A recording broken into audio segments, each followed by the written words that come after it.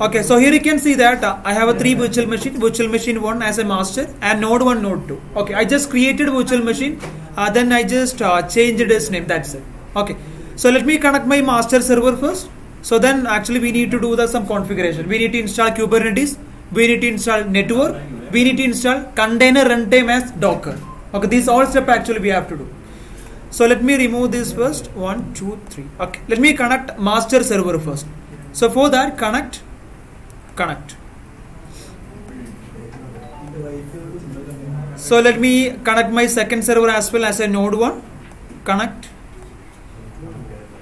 So i will select my node 2 connect. Connect. So now you can see that i successfully connected my three virtual machines. So this is my master and this is my node 1 and uh, this is my node 2 right? Okay. So now i will install docker first. First step we need to install docker. Okay. To install docker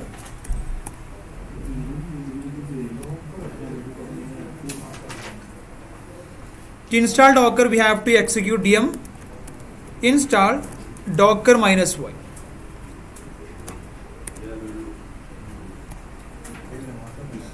so that is installing. Same as I will install docker in my second virtual machine in node 2 because container runtime we required right? We need to orchestrate docker that's what. So I will install docker in my container 2 so let me just open this and yum install docker minus y.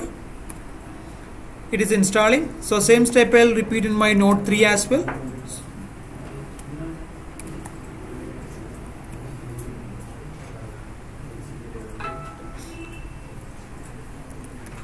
yum install docker minus enter so now you can see that successfully installed docker. Let me start my docker daemon so for that we have to use systemctl or service uh, docker start command. Okay. So systemctl start docker. I successfully started my docker service. Same step I'll repeat over here. Systemctl start. Docker enter successfully started in second server as well. So now i will start my docker service in node 3 so systemctl start. Docker enter so now you can see that i successfully installed docker. Then i successfully started docker on my three virtual machine. Right. So next we need to install Kubernetes. So for that actually we need to download kubeadmin. So that's a utility or framework we can install by using kubeadmin. So we have to search install kubeadmin. Install kubeadmin. So let's wait.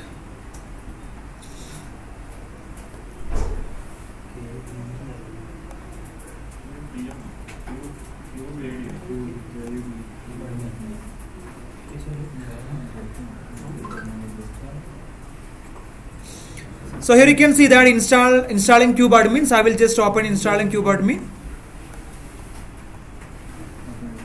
Let me refresh this page. It's already timed out. So I'll refresh my page. I'll go to installing Kubernetes. For that, installing kubeadmin. Okay. So just come down.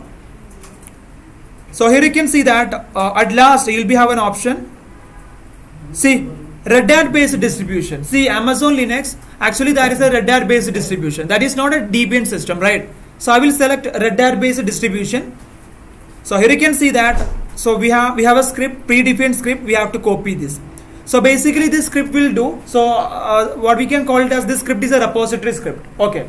So this script will create a repository, Kubernetes repository. Then we will download the like a Kubernetes. Uh, so that's what actually I'm just copying the script. Okay. So you can see that GPG key and uh, so that is going to create a Kubernetes repository. See sudo t etc m dot repos. So before I'll go to my virtual machine, then I will show you the demo. Listen, listen. I'll go sh- show you the demo sudo su. So yum repo list yum repo list enter. Okay, how many repo lists I have over here? How many repo lists I have? Eh?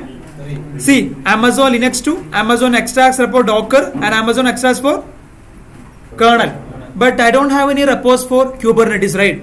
If you want to install Kubernetes, so we require a Kubernetes repository. Okay. So by default, Kubernetes is not available on yum repository or Apple repository. So for that, you have to install Kubernetes repository. So we can install Kubernetes repository. See by the help of this command, just copy this command. Okay, till കാണിക്കാം ഞാൻ പറഞ്ഞുതരാം ഇപ്പോൾ നിങ്ങൾ ശ്രദ്ധിക്കുക ശ്രദ്ധിച്ചിട്ട് കയ്യിൽ പോകും copy this then I will paste okay so now it is installing so once it installed then i will check how many repositories i have yes yes master so we have to do the same step in node 1 node 2 node 3 e- everywhere okay to automate the process we will use ansible or systems manager okay so let me do that okay just enter okay again i will execute uh, yum repo list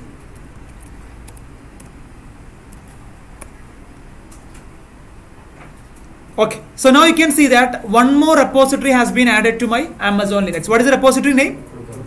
Sorry? Kubernetes. Okay, so now whatever the package I want pertain to Kubernetes. So I can directly I can search yum space install Kubernetes. That will work because Kubernetes repository have been already installed on my Amazon Linux. So I'll go to my second virtual machine. So I'll do the same step over here. I've been already installed my Docker. So here I will install my Kubernetes. For that, paste and that is going to uh, download the Kubernetes what uh, repository first. Then it will download a Kubernetes package, whatever the required package we need. So same step will I will execute on node 3 as well. Paste. ഇവിടെ ശ്രദ്ധിച്ചോ? ഞാൻ ഇത് കഴിഞ്ഞിട്ട് ഞാൻ പറഞ്ഞില്ലേ? നിങ്ങൾ ഡൗട്ടിനെ ഞാൻ പറഞ്ഞുതരാം. പ്രശ്നമില്ല. പക്ഷെ ഇപ്പൊ ഇങ്ങനെ കഴിഞ്ഞു പോകും. And okay everything is okay okay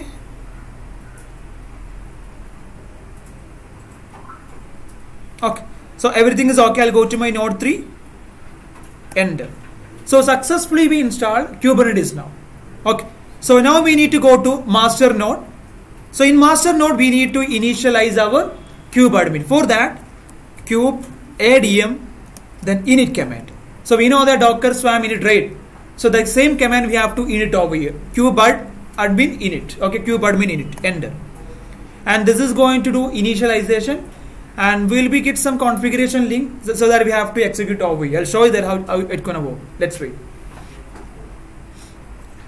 Wait for a couple of seconds and it will come back. One minute. You can see that it is started initialization. So come down.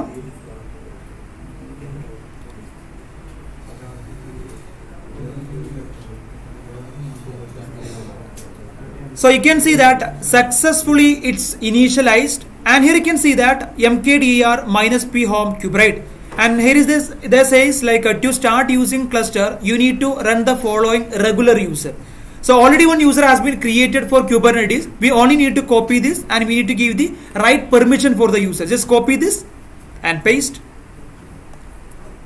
Enter. And one more line we have to copy this. Alternatively if you are the root user you can. So i'll just copy this. So this is the credential we have to copy and paste. For all time we have to do the same. And so everything is everything done. So now we have to copy this cube kube admin join link. Then we will copy and paste in our nodes. Then later the node will be joined to our cluster. Just copy this. Copy this uh, node. I'll just copy this. Okay. So then I will execute. So how many nodes has been joined to my cluster for that we have to execute this command cube ctl then get nodes so you can see that i have only one node node name is ip172.31.85.89 so that is my master node right i'll go to my second node i will paste this joining link on my node to enter yeah successfully uh, that is initialized i'll go to my node 3 i will uh, paste over here enter so successfully initialized. I'll go to my node 2. Yeah, it is uh, booting. So let's wait. Okay, successfully done. I'll go to my master. Then I will check how many nodes has been joined. So now you can see that two node has been joined to my cluster. So one is my node one. So this is my master. I didn't change my host name. That's what actually we are able to find the host name over here. Okay. So second one is my uh, node 1 again I will refresh and I will be able to find node 3 as well right and one more thing here you can see that status that is a node ready right so the reason is actually there there doesn't have any sufficient network in between. So when we discussed about docker swarm so by default one network has been created. What is the network name? Sorry? Okay overlay network right. So by default they can communicate uh, between the containers right. So in this scenario kubernetes actually we need to create a network. Okay so for that we have to search calico network. Calico is a kind of network so we have to download the network then we have to paste over here to do that you have to search calico calico for kubernetes. So you'll be have first option over here uh, calico for kubernetes. Uh, you have to download that. Calico kubernetes download. Okay. So let's open the first link. Uh, come down. So beneath we have an option manifest. I'll just click on manifest. Copy this link. So go to your node 1 and paste. Again go to calico and we'll be have an alternative link to install calico. Copy this. Uh, go to your master node and paste over here. Yeah. So now it is installing our network. So now I will check whether it is ready or not. State. Okay. For that kubectl watch kubectl